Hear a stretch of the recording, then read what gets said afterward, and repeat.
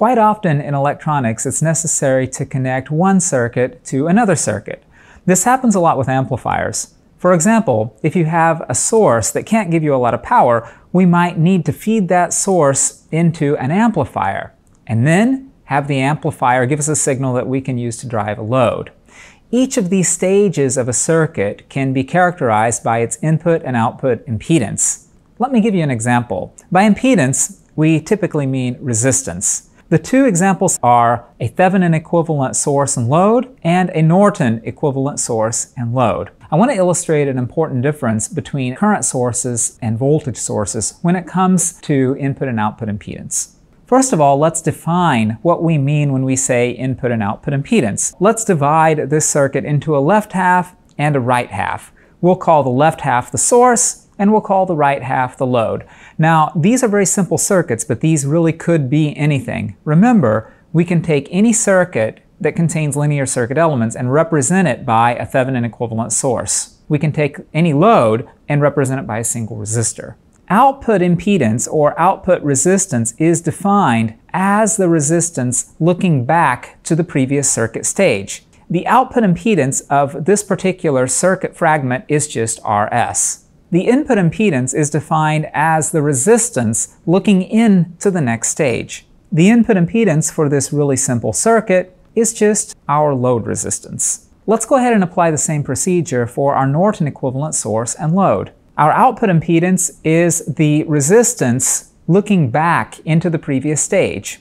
Our input impedance is the resistance looking forward into the next stage. For this very simple circuit, the output impedance of the source is simply Rs.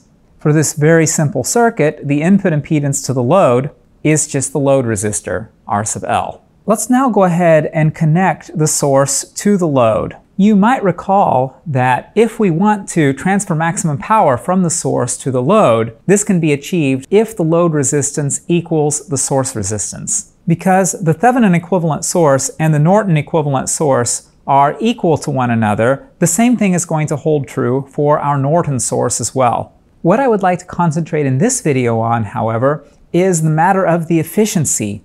Is it more efficient to have a high load resistance, or is it more efficient to have a small load resistance?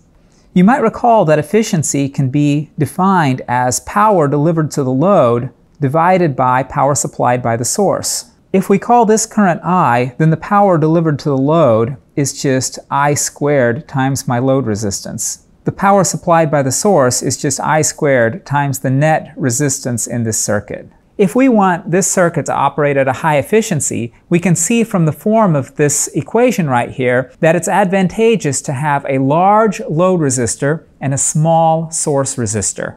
This corresponds to desiring a high input impedance and a small output impedance. When you connect circuits to one another, or when you have a source and you're connecting it to an amplifier, it's often advantageous to require that amplifier to have a high input impedance. And it's advantageous for a source to have a small output impedance.